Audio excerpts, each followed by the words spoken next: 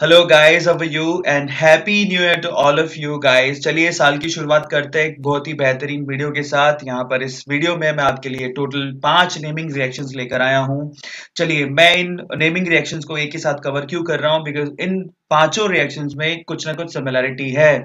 तो चलिए, शुरू करते हैं गाइस फ़र्स्ट ऑफ़ ऑल वो रिएक्शंस कौन सी हैं? पहली रिएक्शन है वर्ड्स रिएक्शन दूसरी रिएक्शन है फ्रैंकलैंड रिएक्शन तीसरी रिएक्शन है कोरी हाउस सिंथेसिस चौथी रिएक्शन है फिटिक रिएक्शन पांचवी रिएक्शन है, उलमान्स रिएक्शन देखिए, मैंने इनको दो पार्ट में कैटेगराइज कर दिया है, जो आपको लेफ़्ट हैंड साइड में तीन रिएक्शन दिखाई दे रही है। बेसिकली वो किसके द्वारा दिखाई जाती है? एल्काइल हेलाइड्स के थ्रू देखिए एल्काइल हेलाइड इन रिएक्शंस को दिखाता है। आपको ध्यान रखना है एल्काइल हेलाइड मतलब स्ट्रेट चैन एरोमेटिक रिंग नहीं होना चाहिए आरएक्स के थ्रू ठीक है?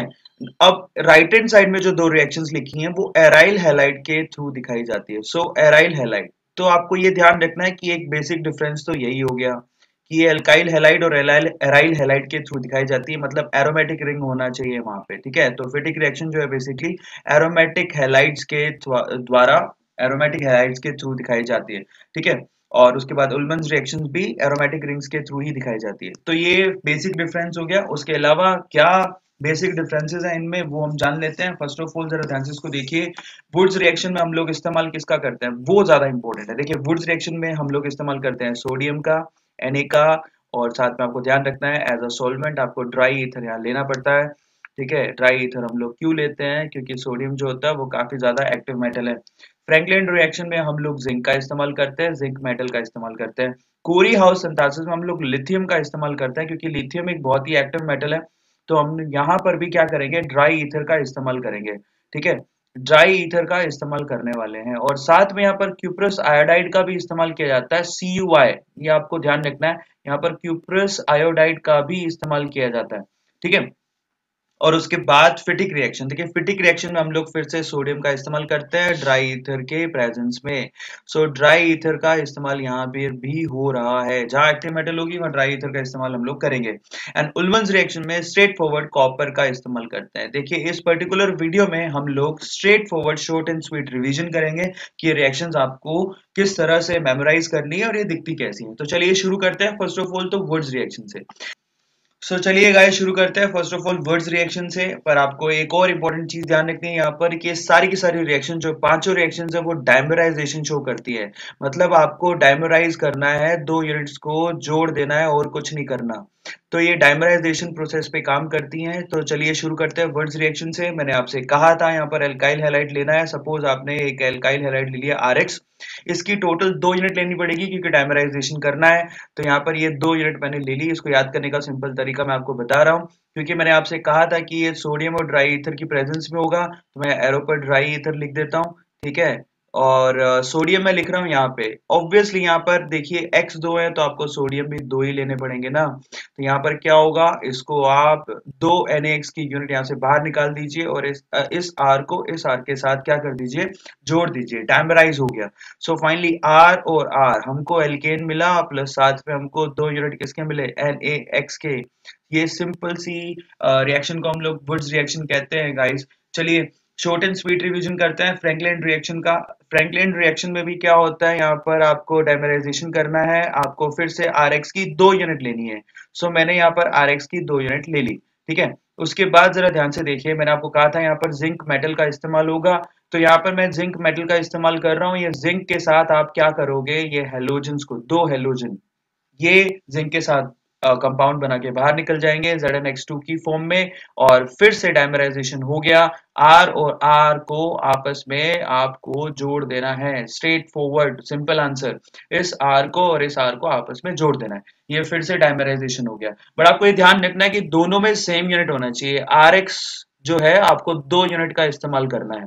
ये आपको ध्यान रखना है इसके अंदर। ऐसा ना हो कि यहाँ पर आप एक अलग यूनिट ले रहे हैं और यहाँ पर एक अलग यूनिट ले रहे हैं। ऐसा नहीं होगा, यहाँ पर सेम एल्काइल हेलाइड का इस्तेमाल होगा।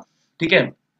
नेक्स्ट चलते हैं कोरी हाउस सिंथेसिस पर चलते हैं। देखिए कोरी हाउस सिंथेसिस जो रिएक्शन है बेसिकली उसमें हम लोगों को दो अलग अलग तरह की एल्काइल हेलाइट्स को हेलाइट्स को इस्तेमाल करना है। सेम में नहीं होगा। तो यहाँ पर देखिए कोरी हाउस सिंथेसिस क्या है? हमने एक एल्काइल हेलाइट ले लिया आर एक्स सपोज़ ठीक है? और दूसरा एल्काइल हेड देखिए क्वेश्चन कैसा मिलता है आपको? एक एरो पर इस तरह से लिखा होता है. आर एक्स लिया आपने, साथ में फ़र्स्ट ऑफ़ ऑल तो आपने क्या लिया?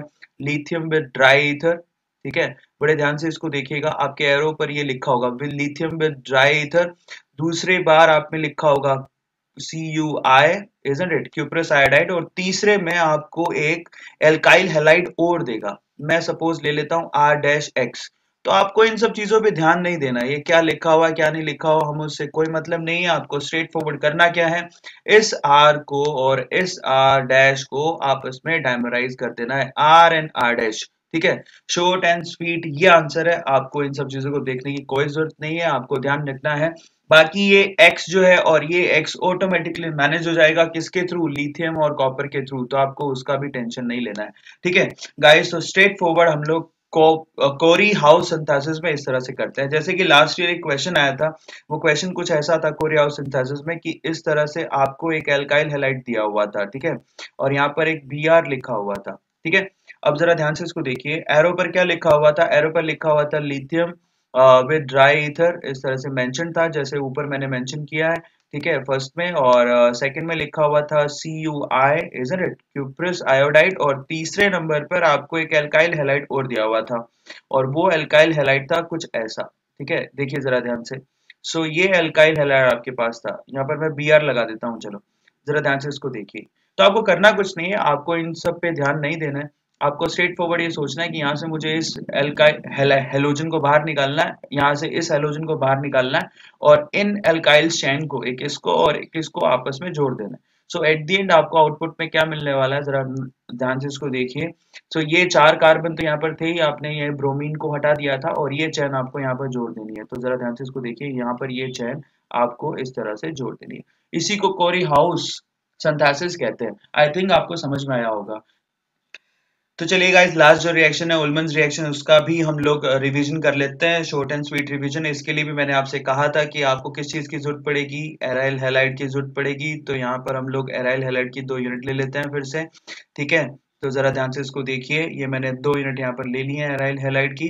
बट आपको करना क्या होता है उलमंस रिएक्शन में? सोडियम का इस्तेमाल नहीं करना है। आपको यहाँ पर कॉपर का इस्तेमाल करना है। डायमराइजेशन के लिए कॉपर क्या करेगा? दोनों एक्स को आप साथ में लेकर सी यू एक्स टू की फॉर्म में यहाँ से बाहर निकल जाएगा इजंट इट और फाइनली ये दोनों यूनिट जो आपको दिखाई दे रही हैं, वो डायमराइज हो जाएगी। इस रिएक्शन को हम लोग उलमंस रिएक्शन कहते हैं। तो देखिए, आपको ये समझ में आया होगा बेसिकली सभी पाँचों रिएक्शन में डायमराइजेशन हो रहा है, लेकिन जो शुरू की दो रिएक्शन है, वो एल्काइल हेलाइट पे परफॉर्म हो रही है, ठीक है? और जैसे वर्ड्स रिएक्शन हम लोग बात करें तो वो सोडियम की प्रेजेंस में है फ्रैंकलिन रिएक्शन जिंक मेटल की प्रेजेंस में हो रही है। चलिए अपन शुरू करते हैं। नेक्स्ट जो एराइल हेलाइड के थ्रू रिएक्शन दिखाई जाते हैं शॉर्ट एंड स्वीट रिवीजन करते हैं। यहाँ पर फिटिक रिएक्शन ना लुक एट फिटिक रिएक्शन मैंने आपसे कहा था एराइल हेलाइड्स के द्वारा दिखाई जाती है। तो जरा ध्यान से इसको देखिए। यहाँ पर एल्काइल की जगह आपको एराइल हेलाइड लेनी है। तो मैं यहाँ पर क्या करता हूँ, आपके पास हेलोबेंजीन ले लेता हूँ। इसकी भी आपको दो यूनिट इमेजिन करनी पड़ेगी। ठीक है, ये एज इट इज़ वैसी रिएक्शन है जैसे कि हमने किसमें देखी है? वुड्स में। बट यहाँ पर आपको क्या करना है? एल्काइल की जगह एराइल हेलाइट का इस्तेमाल करना है। अगेन यहाँ पर क्या होगा? आपको ड्राई ईथर का इस्तेमाल करना पड़ेगा। So you need dry ether आपको ड्राई ईथर चाहिए। क्यों? क्योंकि यहाँ पर आप सोडियम मेटल का इस्तेमाल करने वाले हैं।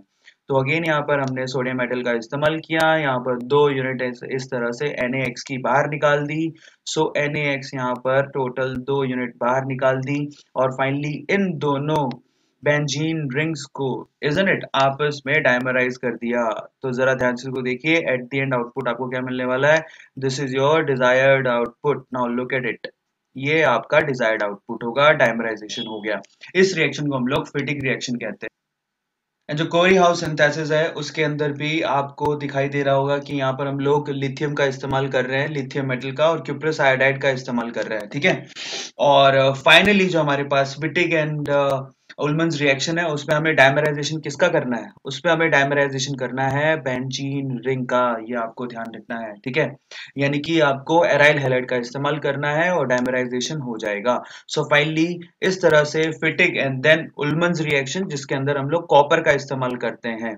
तो इस तरह से सारी रिएक्शन परफॉर्म होती है। Guys I think I hope आपको समझ में आया होगा। I think I hope guys आपको ये वीडियो अच्छा लगा होगा and if you like the video please subscribe my channel and share these videos to your friends and other students also thank you so much guys thanks a lot